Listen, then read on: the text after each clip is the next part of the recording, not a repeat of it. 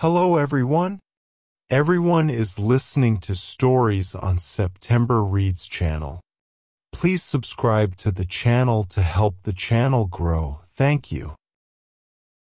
Harry Potter and the Sorcerer's Stone Chapter 2 The Vanishing Glass Nearly ten years had passed since the Dursleys had woken up to find their nephew on the front step, but Privet Drive had hardly changed at all. The sun rose on the same tidy front gardens and lit up the brass number four on the Dursleys' front door. It crept into their living room, which was almost exactly the same as it had been on the night when Mr. Dursley had seen that fateful news report about the owls. Only the photographs on the mantelpiece really showed how much time had passed. Ten years ago, there had been lots of pictures of what looked like a large pink beach ball wearing different colored bonnets, but Dudley Dursley was no longer a baby, and now the photographs showed a large blond boy riding his first bicycle on a carousel at the fair, playing a computer game with his father, being hugged and kissed by his mother. The room held no sign at all that another boy lived in the house, too. Yet Harry Potter was still there, asleep at the moment, but not for long. His Aunt Petunia was awake, and it was her shrill voice that made the first noise of the day. Up! Get up! Now! Harry woke with a start. His aunt rapped on the door again. Up, she screeched. Harry heard her walking toward the kitchen and then the sound of the frying pan being put on the stove. He rolled onto his back and tried to remember the dream he had been having. It had been a good one. There had been a flying motorcycle in it. He had a funny feeling he'd had the same dream before. His aunt was back outside the door. Are you up yet? she demanded. Nearly, said Harry. Well, get a move on. I want you to look after the bacon. And don't you dare let it burn. I want everything perfect on Duddy's birthday. Harry groaned. What did you say? His aunt snapped through the door. Nothing, nothing. Dudley's birthday, how could he have forgotten? Harry got slowly out of bed and started looking for socks. He found a pair under his bed and, after pulling a spider off one of them, put them on. Harry was used to spiders because the cupboard under the stairs was full of them and that was where he slept. When he was dressed, he went down the hall into the kitchen. The table was almost hidden beneath all Dudley's birthday presents. It looked as though Dudley had gotten the new computer he wanted, not to mention the second television and the racing bike. Exactly why Dudley wanted a racing bike was a mystery to Harry as Dudley was very fat and hated exercise unless of course it involved punching somebody. Dudley's favorite punching bag was Harry, but he couldn't often catch him. Harry didn't look it, but he was very fast. Perhaps it had something to do with living in a dark cupboard, but Harry had always been small and skinny for his age. He looked even smaller and skinnier than he really was because all he had to wear were old clothes of Dudley's, and Dudley was about four times bigger than he was. Harry had a thin face, knobbly knees, black hair, and bright green eyes. He wore round glasses held together with a lot of scotch tape because of all the times Dudley had punched him on the nose. The only thing Harry liked about his own appearance was a very thin scar on his forehead that was shaped like a bolt of lightning. He had had it as long as he could remember, and the first question he could ever remember asking his Aunt Petunia was how he had gotten it. In the car crash when your parents died, she had said, and don't ask questions. Don't ask questions. That was the first rule for a quiet life with the Dursleys. Uncle Vernon entered the kitchen as Harry was turning over the bacon. Comb your hair, he barked, by way of a morning greeting. About once a week, Uncle Vernon looked over the top of his newspaper and shouted that Harry needed a haircut. Harry must have had more haircuts than the rest of the boys in his class put together, but it made no difference, his hair simply grew that way all over the place. Harry was frying eggs by the time Dudley arrived in the kitchen with his mother. Dudley looked a lot like Uncle Vernon. He had a large pink face, not much neck, small, watery blue eyes, and thick blond hair that lay smoothly on his thick, fat head. Aunt Petunia often said that Dudley looked like a baby angel. Harry often said that Dudley looked like a pig in a wig.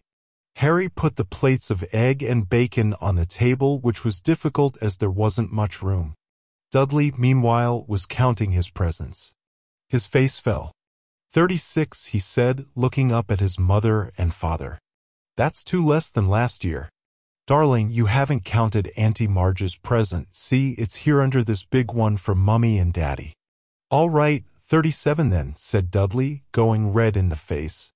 Harry, who could see a huge Dudley tantrum coming on, began wolfing down his bacon as fast as possible in case Dudley turned the table over. Aunt Petunia obviously scented danger, too, because she said quickly, and we'll buy you another two presents while we're out today. How's that, Popkin? Two more presents. Is that all right? Dudley thought for a moment. It looked like hard work. Finally, he said slowly, so I'll have thirty, thirty. Thirty-nine, Sweetums, said Aunt Petunia. Oh. Dudley sat down heavily and grabbed the nearest parcel. All right then. Uncle Vernon chuckled. Little Tyke wants his money's worth just like his father. Atta boy, Dudley. He ruffled Dudley's hair. At that moment the telephone rang and Aunt Petunia went to answer it while Harry and Uncle Vernon watched Dudley unwrap the racing bike, a video camera, a remote control airplane, 16 new computer games, and a VCR. He was ripping the paper off a gold wristwatch when Aunt Petunia came back from the telephone looking both angry and worried. Bad news, Vernon, she said. Mrs. Figg's broken her leg. She can't take him. She jerked her head in Harry's direction. Dudley's mouth fell open in horror, but Harry's heart gave a leap. Every year on Dudley's birthday, his parents took him and a friend out for the day to adventure parks, hamburger restaurants, or the movies. Every year, Harry was left behind with Mrs. Figg, a mad old lady who lived two streets away. Harry hated it there. The whole house smelled of cabbage and Mrs. Figg made him look at photographs of all the cats she'd ever owned. Now what? said Aunt Petunia, looking furiously at Harry as though he'd planned this. Harry knew he ought to feel sorry that Mrs. Figg had broken her leg, but it wasn't easy when he reminded himself it would be a whole year before he had to look at Tibbles, Snowy, Mr. Paws, and Tufty again. We could phone Marge, Uncle Vernon suggested. Don't be silly, Vernon. She hates the boy. The Dursleys often spoke about Harry like this, as though he wasn't there, or rather, as though he was something very nasty that couldn't understand them, like a slug. What about what's her name, your friend, Yvonne? On vacation in Majorca, snapped Aunt Petunia. You could just leave me here, Harry put and hopefully he'd be able to watch what he wanted on television for a change and maybe even have a go on Dudley's computer. Aunt Petunia looked as though she'd just swallowed a lemon. And come back and find the house in ruins, she snarled. I won't blow up the house, said Harry, but they weren't listening. I suppose we could take him to the zoo, said Aunt Petunia slowly, and leave him in the car. That car's new, he's not sitting in it alone. Dudley began to cry loudly. In fact, he wasn't really crying. It had been years since he'd really cried, but he knew that if he screwed up his face and wailed, his mother would give him anything he wanted. Dinky Duddydums, don't cry, Mummy won't let him spoil your special day, she cried, flinging her arms around him. I don't want him, TT to come? Dudley yelled between huge pretend sobs. He always SP spoils everything. He shot Harry a nasty grin through the gap in his mother's arms. Just then, the doorbell rang. Oh, good Lord, they're here, said Aunt Petunia frantically, and a moment later, Dudley's best friend, Piers Polkiss, walked in with his mother. Piers was a scrawny boy with a face like a rat. He was usually the one who held people's arms behind their backs while Dudley hit them. Dudley stopped pretending to cry at once. Half an hour later, Harry, who couldn't believe his luck, was sitting in the back of the Dudleys' car with Piers and Dudley on the way to the zoo for the first time in his life. His aunt and uncle hadn't been able to think of anything else to do with him, but before they'd left, Uncle Vernon had taken Harry aside. I'm warning you, he had said, putting his large purple face right up close to Harry's. I'm warning you now, boy. Any funny business, anything at all, and you'll be in that cupboard from now until Christmas. I'm not going to do anything, said Harry honestly. But Uncle Vernon didn't believe him. No one ever did. The problem was, strange things often happened around Harry and it was just no good telling the Dursleys he didn't make them happen. Once Aunt Petunia, tired of Harry coming back from the barber's looking as though he hadn't been at all, had taken a pair of kitchen scissors and cut his hair so short he was almost bald except for his bangs, which she left to hide that horrible scar. Dudley had laughed himself silly at Harry, who spent a sleepless night imagining school the next day, where he was already laughed at for his baggy clothes and taped glasses. Next morning, however, he had gotten up to find his hair exactly as it had been before Aunt Petunia had sheared it off. He had been given a week in his cupboard for this, even though he had tried to explain that he couldn't explain how it had grown back so quickly. Another time, Aunt Petunia had been trying to force him into a revolting old sweater of Dudley's, brown with orange puffballs. The harder she tried to pull it over his head, the smaller it seemed to become until finally it might have fitted a hand puppet but certainly wouldn't fit Harry. Aunt Petunia had decided it must have shrunk in the wash and, to his great relief, Harry wasn't punished. On the other hand, he'd gotten into terrible trouble for being found on the roof of the school kitchens. Dudley's gang had been chasing him as usual when, as much to Harry's surprise as anyone else's, there he was sitting on the chimney. The Dursleys had received a very angry letter from Harry's headmistress telling them Harry had been climbing school buildings. But all he'd tried to do, as he shouted at Uncle Vernon through the locked door of his cupboard, was jump behind the big trash cans outside the kitchen doors. Harry supposed that the wind must have caught him in mid-jump. But today nothing was going to go wrong. It was even worth being with Dudley and Piers to be spending the day somewhere that wasn't school, his cupboard, or Mrs. Figg's cabbage-smelling living room. While he drove, Uncle Vernon complained to Aunt Petunia. He liked to complain about things, people at work, Harry, the council, Harry, the bank, and Harry were just a few of his favorite subjects. This morning it was motorcycles, Roaring along like maniacs, the young hoodlums, he said as a motorcycle overtook them. I had a dream about a motorcycle, said Harry, remembering suddenly. It was flying. Uncle Vernon nearly crashed into the car in front. He turned right around in his seat and yelled at Harry, his face like a gigantic beet with a mustache, Motorcycles don't fly. Dudley and Piers sniggered. I know they don't, said Harry. It was only a dream but he wished he hadn't said anything. If there was one thing that Dursleys hated even more than his asking questions, it was his talking about anything acting in a way it shouldn't, no matter if it was in a dream or even a cartoon, they seemed to think he might get dangerous ideas. It was a very sunny Saturday and the zoo was crowded with families.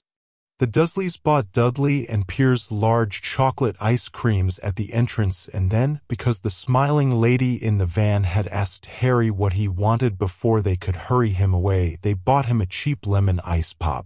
It wasn't bad either, Harry thought, licking it as they watched a gorilla scratching its head who looked remarkably like Dudley, except that it wasn't blonde.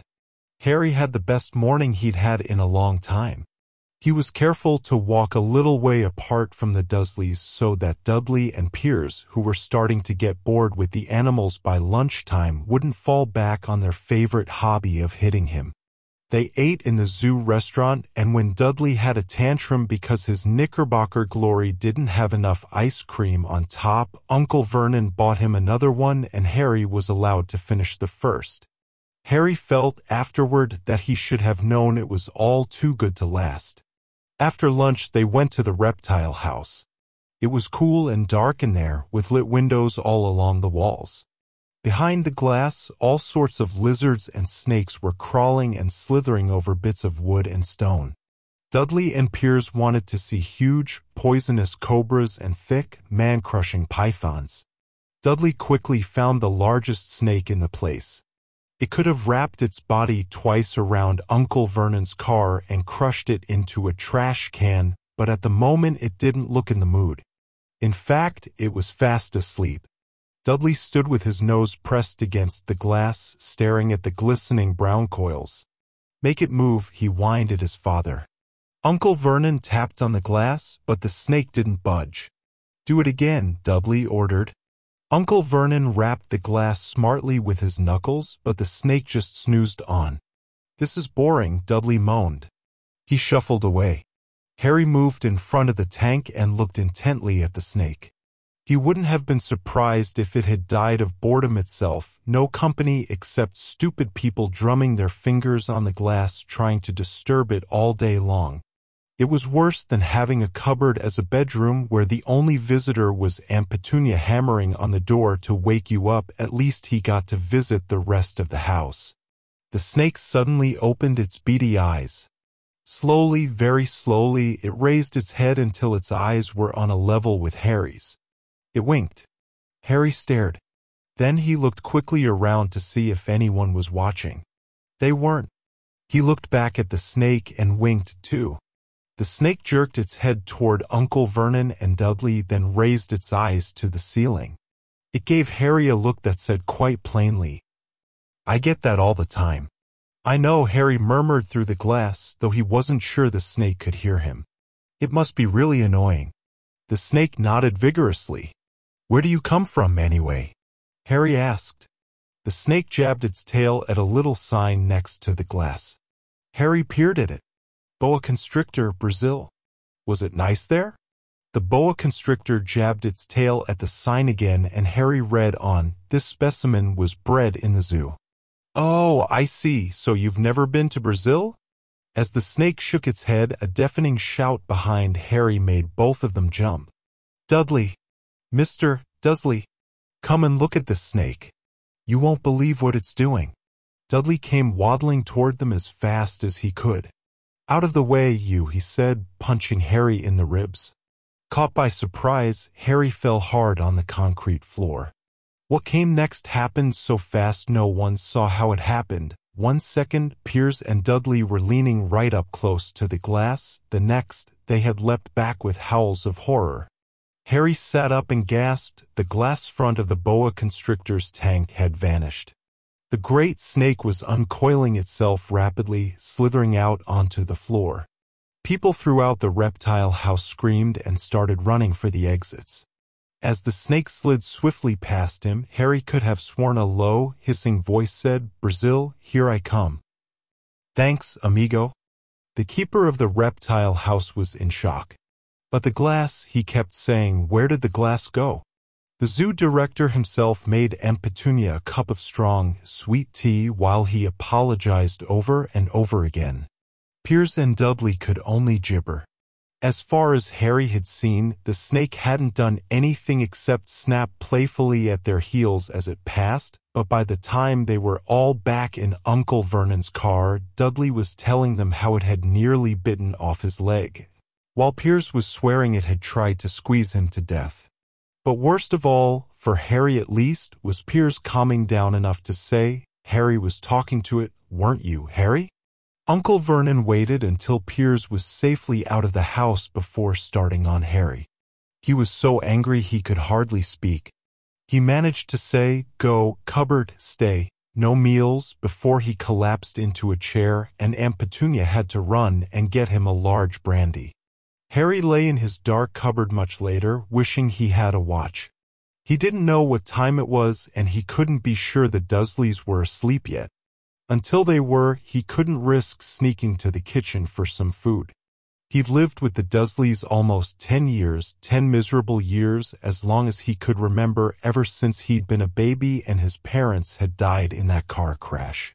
He couldn't remember being in the car when his parents had died. Sometimes, when he strained his memory during long hours in his cupboard, he came up with a strange vision, a blinding flash of green light and a burning pain on his forehead. This, he supposed, was the crash, though he couldn't imagine where all the green light came from. He couldn't remember his parents at all. His aunt and uncle never spoke about them, and of course he was forbidden to ask questions. There were no photographs of them in the house.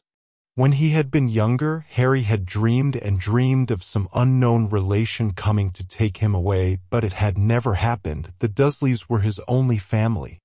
Yet sometimes he thought, or maybe hoped, that strangers in the streets seemed to know him. Very strange strangers they were, too. A tiny man in a violet top hat had bowed to him once while out shopping with Aunt Petunia and Dudley. After asking Harry furiously if he knew the man, Aunt Petunia had rushed them out of the shop without buying anything. A wild-looking old woman dressed all in green had waved merrily at him once on a bus.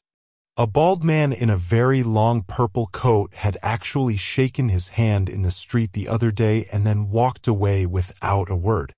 The weirdest thing about all these people was the way they seemed to vanish the second Harry tried to get a closer look. At school, Harry had no one. Everybody knew that Dudley's gang hated that odd Harry Potter in his baggy old clothes and broken glasses, and nobody liked to disagree with Dudley's gang.